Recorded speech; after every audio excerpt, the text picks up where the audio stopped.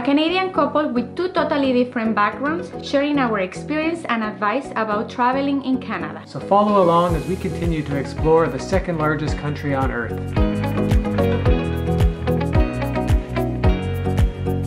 We're in Vancouver! Yes, it's known as one of the most beautiful cities in all of Canada. But Yeah. today is raining. Yeah, well, it does rain here quite a bit, although every time we've come here in the summer, it's been very nice, blue skies, and it really is a beautiful city.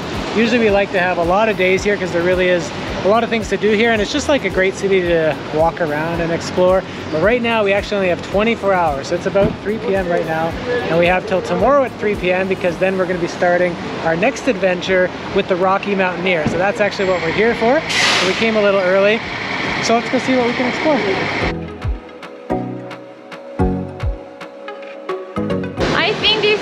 Been like my what baby, like fifth or sixth visit Probably, to yeah, Vancouver. here quite a bit. And this is the first time that I've seen the stars, which is kind of like the Hollywood Hollywood stars maybe, Yeah, well, something they call like that. Vancouver like the Hollywood of Canada because this is where most of the production comes from uh, when it's not in LA.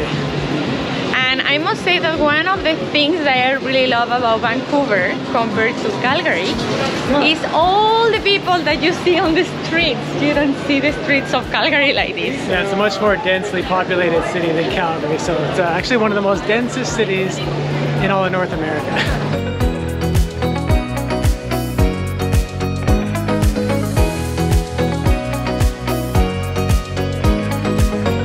Well, kind of rainy, a little bit gloomy, we decided to do an indoor activity. So we're gonna come check out the Lou Reed Gallery of Northwest Coast Art because we've heard really good things about the indigenous art that they have here.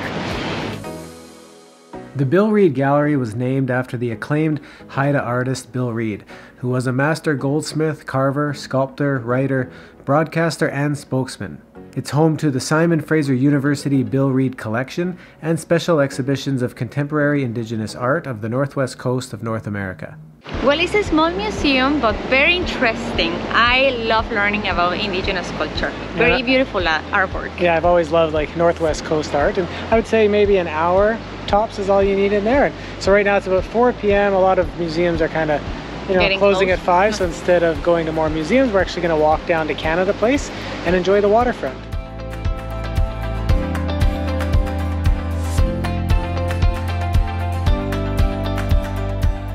Well, as you can see, the rain has definitely picked up, so it's a good thing we brought an umbrella. Always bring an umbrella and a rain jacket when you come to Vancouver, right? Yeah, and maybe waterproof shoes too. Yeah, so we, we finally made it to Canada Place. This is basically a landmark in the city and where a lot of uh, events take place, and it's just a good starting point for seeing the waterfront, and it's also where you'll find the information booth on things to do in the city, and you can see the big cruise ships that go all the way up to Alaska.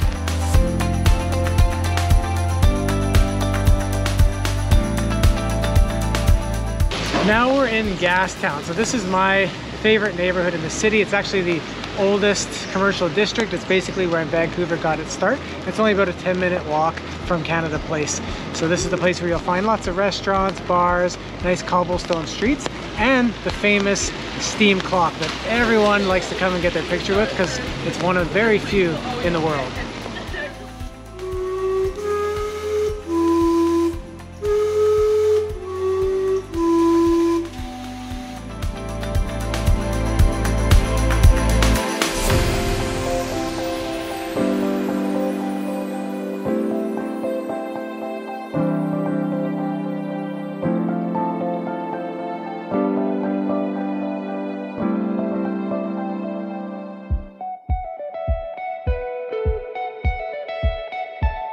Today we have clear skies. We're actually back at Canada Place slash waterfront and it's so pretty because we can actually see the mountains. Yeah, Vancouver is so different when the rain goes away. It really is, to me, the most beautiful city in Canada because you have the mountains and the ocean and the nice high rises and all that kind of stuff. So we're actually going to make our way now along the waterfront and into Stanley Park. What a beautiful day. So we've been walking already for about half an hour because when you start from Canada Place to this park, which is pretty much the beginning of Stanley Park, it's about half an hour. But anyway, it's worth the walk And I think we still have left like two hours of walking.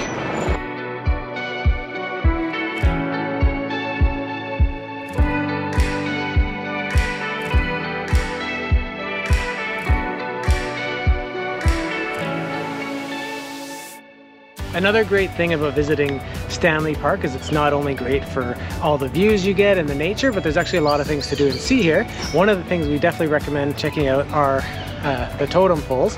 They're pretty much right near the entrance. They're really beautiful to see and they've really become like an icon of that Northwest Coast uh, indigenous art.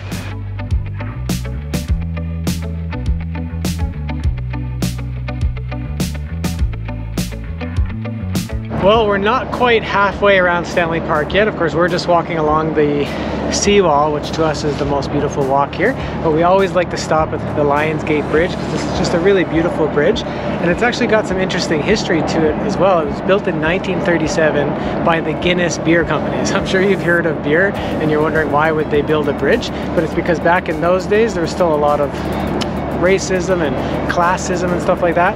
So across this bridge, it was built to get to the British properties, which were there mainly for elites and it excluded non-white people and Jewish people. So they actually built the bridge to get over there. Once you pass the Lions Gate Bridge, it gets a little bit windy. There's not too much shelter and it seems more like open ocean. Yeah, I think the other side, what we can see is actually Vancouver Island.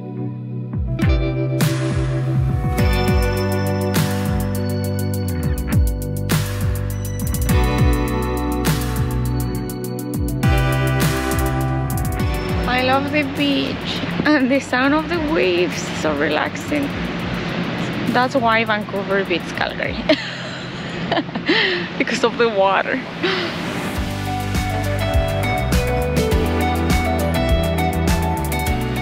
We've been walking for a long time right now. We started walking around what baby? It's 120 right now. Maybe 10 10 11 12 1 3 hours. However we've been stopping a lot getting pictures videos yeah so if you do the same just consider a good amount of time especially if you want to stop in other places like the totem poles. We didn't stop at the aquarium. There's a couple of gardens too.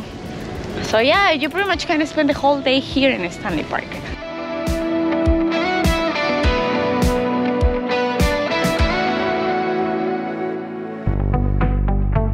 Uh, well, after four hours of walking around the seawall of Stanley Park, we are really hungry and a little bit thirsty, so why not quench both of that at Stanley Park Brewing.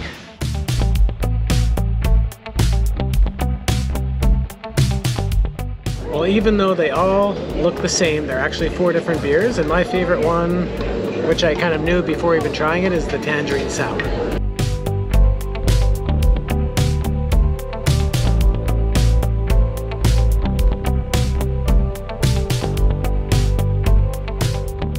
Well, that was good. Yes. It was actually nice to rest the legs for a bit too. But Be now we're...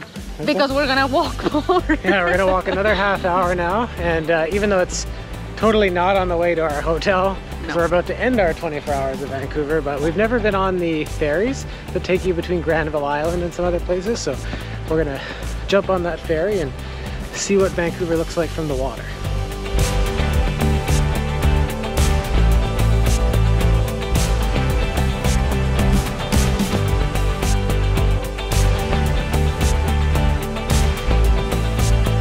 Well, that was a quick little ferry ride. Right now we're actually in Granville Island, another really popular place to visit. We have no time for it today, so we're gonna catch another ferry and go further down.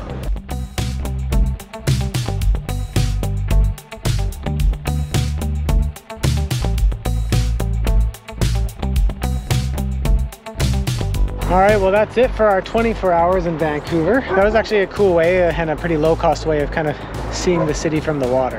And even though I know that we missed out so many things to do in Vancouver, probably this gives you a good glimpse of how beautiful the city is. Yeah, we've actually been here many times before. We've done quite a few things, but we always go to Stanley Park because we really love that walk along the seawall. So that's something we definitely recommend. But if you want to learn more about all the other things to do in Vancouver, just visit our Vancouver travel guide on mustdocanada.com. And of course, if you like this video and it inspires you to visit Vancouver, hit that like button and hit subscribe. Yeah, and leave us a comment. We'd love to hear from you. But now we got to get back to our hotel because we're going to get ready for our next adventure, which is on the Rocky Mountaineer.